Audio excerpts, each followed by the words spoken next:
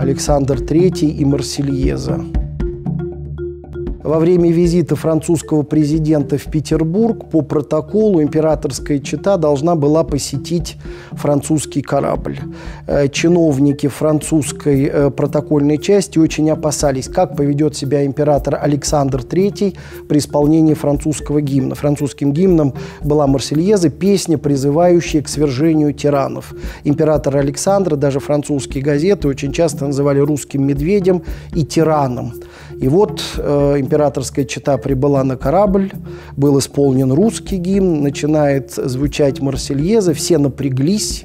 Император Александр, выдерживая театральную паузу, вдруг встает, снимает фуражку и, поворачиваясь к музыканту, говорит, играйте, господа, я же не композитор, чтобы сочинять французам новые гимны.